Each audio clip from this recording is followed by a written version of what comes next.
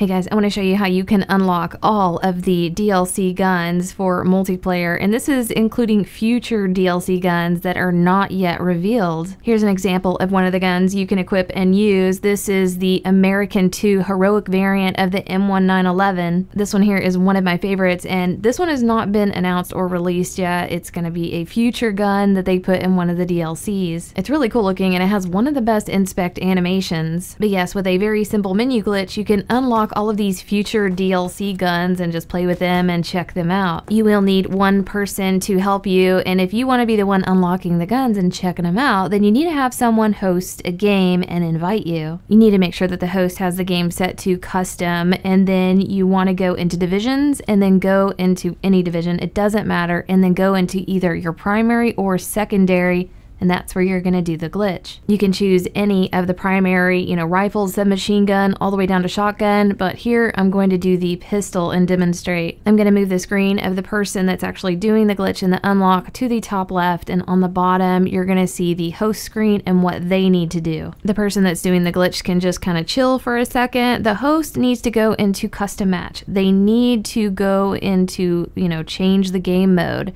and they want to change the game mode to the esports game mode and then choose search and destroy. The host needs to just stop right there and just hover over search and destroy and not choose it yet. They need to let the other person know that's in the gun menus to go ahead and, you know, do their part. And what they need to do is find a gun variant that offers the option to view the collection. There's going to be an option that pops up on the bottom of the left screen that's going to say view collection. I'm on PS4 here, so it tells me to hit triangle to view it. So you want to go ahead and view it and then just wait there on that view collection screen. I've chosen the M1911 and I went down to Jupiter and then Jupiter said I could view the collection. So I clicked that and then I let the host know that I was on that screen. Now the host can choose the search and destroy and just change the game mode. And changing the game mode is what causes the glitch. It will unlock every single gun for that base model and like all the variants, even the future DLC. The person doing the glitch can just hit back and and what they're going to see is the entire list revealed to them, and they're going to be able to look at all the guns, all the variants, and equip them and use them. The host can set the game mode back to Team Deathmatch or whatever and edit the game rules. You guys can also go into the firing range and check out the guns. At this time, people are only able to use these guns and these unlocks for one custom game. You can't go on public matches with this.